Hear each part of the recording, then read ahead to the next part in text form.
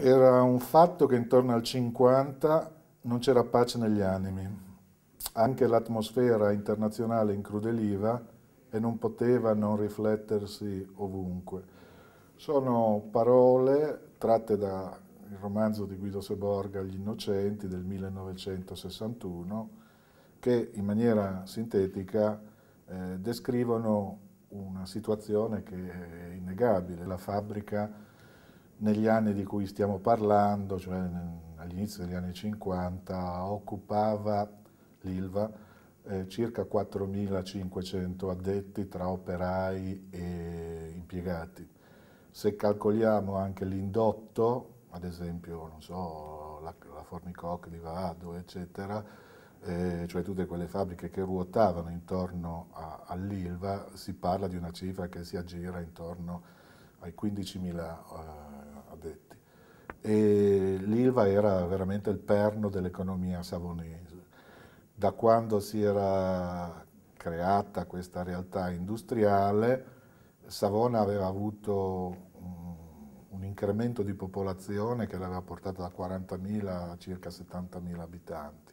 Questo ci dà la misura della vastità e dell'importanza del fenomeno che stiamo trattando. Alla fine eh, della vicenda degli anni 50 che coinvolge la, la fabbrica e si ha una riduzione praticamente a un terzo degli addetti, quindi da 4.500 circa 1.500 complessivamente, che poi nelle, nelle vicende successive eh, diminuiranno ulteriormente fino alla chiusura, alla chiusura della fabbrica.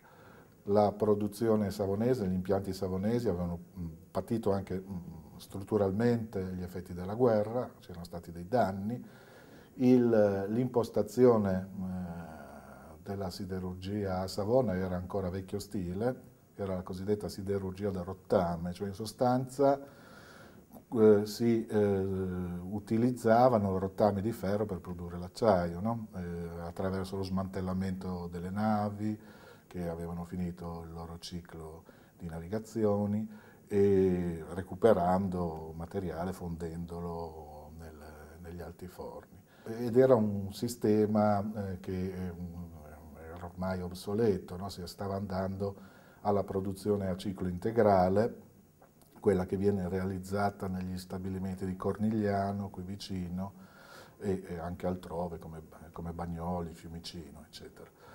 Oltre a questo aggiungiamo i, i problemi che derivano dall'avviamento del cosiddetto piano Schumann. A questi problemi se ne aggiunge un altro, che è quello dell'ostilità diciamo, dell'industria privata dell'acciaio, cui esponente di spicco era Falk, uno tra l'altro dei fondatori della democrazia cristiana, il partito di governo, eh, nei confronti dell'industria dell partecipazione statale, in un momento in cui per le politiche diciamo, deflazionistiche attuate dai governi eh, nel, nell'immediato dopoguerra eh, si era avuto un forte restringimento del credito nei confronti di, di queste industrie. A complicare ulteriormente il quadro eh, mettiamoci anche la spaccatura sul fronte sindacale dopo il 1948 no? con la formazione della CISL e quindi con la creazione di uno spazio politico di intervento in quel mondo lì che prima non esisteva. Eh, il problema dei licenziamenti all'ILVA si manifesta prestissimo, già nel 46-47. Io ho trovato un articolo in una pubblicazione che faceva capo, se non ricordo male, alla Camera di Commercio, in cui già si parla di un possibile smantellamento totale della fabbrica e di un uso di quelle aree per scopi edilizi in sostanza, quello che poi è avvenuto molti decenni dopo. In pratica si propone eh, la, la, riduzione degli addetti da, di, di, circa 2000, eh, un, di circa 2000 unità e la cosa crea ovviamente un forte sgomento in città. Eh, uno sgomento che coinvolge non solo eh, ceti operai ovviamente, ma coinvolge diciamo, la città nel suo complesso perché si avvertiva chiaramente che un, un intervento così pesante non avrebbe eh, non potuto avere diciamo, mm, ricadute anche su tutta la realtà economica della zona, sul commercio, su tutte le attività collegate. Eh, la caratteristica di, questi, di, questa vicenda, di questi, di questi scioperi, di questa, di questa lotta per l'Ilva, eh, è stata non moltissimo studiata, come in generale non è stata studiata la stagione di questi cosiddetti scioperi alla rovescia, no? che consistevano in sostanza nel tentativo da parte del padronato di, eh, della proprietà di eh, ridurre eh, o chiudere addirittura gli impianti industriali, quindi con la serrata, no? nei momenti di confronto e di tensione e con l'azione invece degli, degli, degli operai della manodopera organizzata che occupava la fabbrica e la faceva continuare a produrre nonostante la volontà di chiuderla. Quindi non uno sciopero che si configura come semplice astensione dal lavoro, ma un'occupazione materiale degli spazi della produzione e una gestione autonoma degli stessi. Sono anni in cui vengono varate anche delle norme di polizia per contenere eh, diciamo, le forme di manifestazione, sono anni in cui scorre anche del sangue, non a Savona fortunatamente, eh, qualche scontro ci fu ma non ci scappò il morto, però altrove sì. In questa primissima fase eh, la situazione viene parzialmente risolta al tavolo della trattativa nel frattempo in città si attiva un comitato civico eh, che fa capo al sindaco, Aglietto, eh, che raccoglie veramente tutte le categorie. Quello che fa più impressione in questa, in questa vicenda è proprio vedere la solidarietà civica che si stringe intorno a questa fabbrica. Gli operai nella loro lotta eh, e le loro organizzazioni sono riuscite veramente a coagulare per un po' di anni intorno alle loro ragioni eh, tutta la città. Eh, manifestazioni impressionanti di solidarietà. Mm, le famiglie, i privati raccoglievano in città rottami di ferro per farli confluire nella fabbrica e per consentire ancora la lavorazione. Gli operai in fabbrica avevano rimontato uno dei forni che erano crollati durante, durante la guerra. Eh, gli albergatori, alcuni albergatori almeno, avevano offerto gratuitamente delle camere per, eh, per le famiglie degli operai. Eh, si raccoglievano fondi, persino il clero locale si attivò per sostenere economicamente, diciamo così, la, la, la lotta.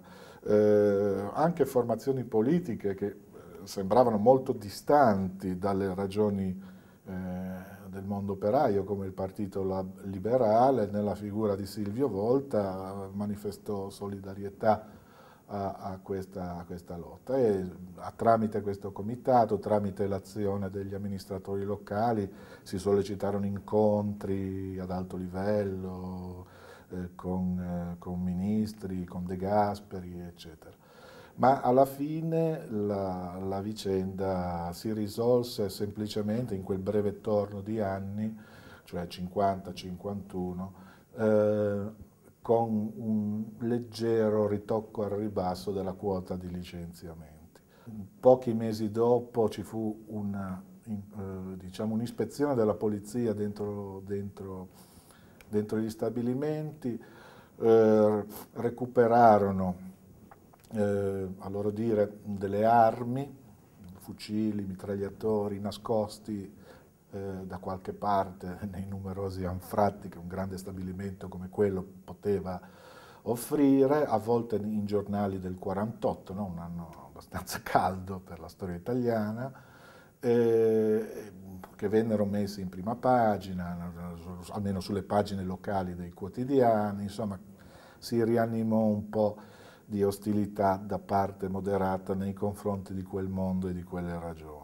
Dopo la ripresa di, questi, di, di, di queste occupazioni, di questi scioperi che chiaramente cominciavano un po' a stancare anche il ceto medio, la borghesia locale, eh, eh, si fece la promessa in sostanza di convertire eh, professionalmente questi operai, in parte di destinarli ad altre realtà industriali e in parte di riconvertirli attraverso dei corsi di formazione professionale che avrebbero consentito loro l'accesso ad altre, a altre aree, in più il varo di lavori pubblici e di altre soluzioni che avrebbero alleggerito la, la faccenda però facevano la figura agli occhi diciamo, dei benpensanti, del ceto medio, dell'opinione pubblica locale, già un po' la figura di parassiti che stavano lì, che, che frequentavano questi corsi e non facevano nulla. Anche perché di fatto questi corsi non portarono a nulla.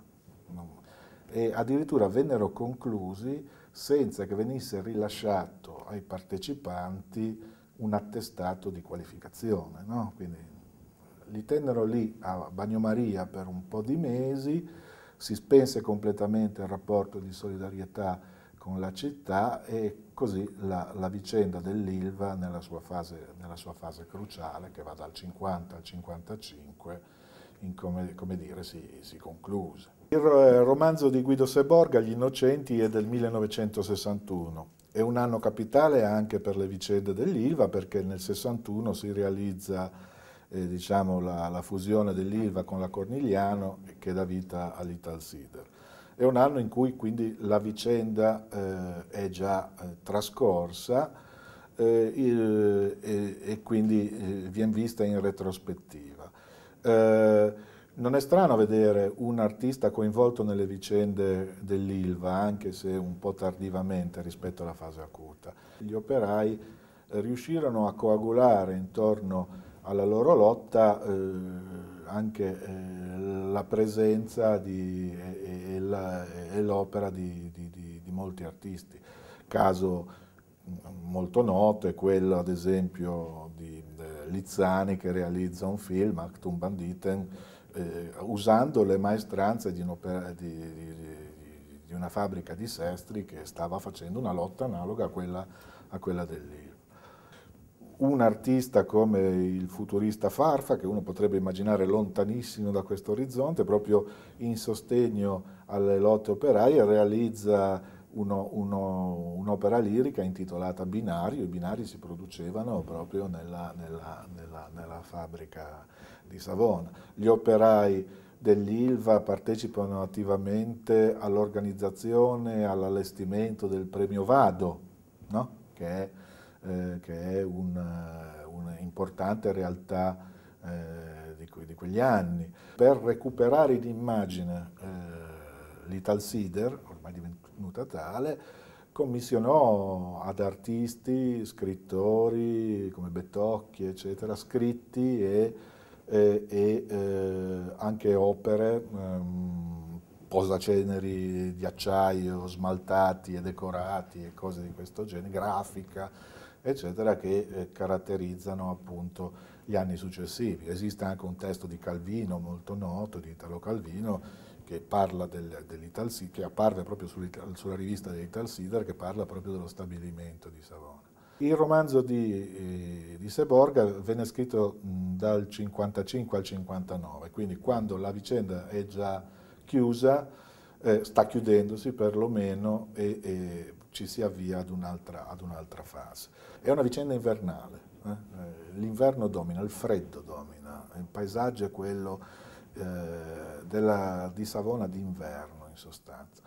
Anche questo è giustificato sostanzialmente dalla, dalla poetica dell'autore, dal, dal, pessimismo di fondo che anima questa, questa questa vicenda, che è espresso da un avverbio che chiude una parte rilevante del, del, del romanzo, ineluttabilmente. Ecco, tutte le vicende degli operai, la loro lotta è stata una lotta inutile, tutto sommato. Il, I destini si sono incamminati nella direzione obbligata. Ma forse, in ogni caso, questo messaggio esce dal, dal romanzo di Seborg ed è l'aspetto civilmente più significativo, quella lotta era comunque necessaria, era comunque necessaria ed era eh, l'unica forma di riscatto che eh, dà senso a quella che uno scrittore dell'epoca, Navel, chiamava la tristezza operaia.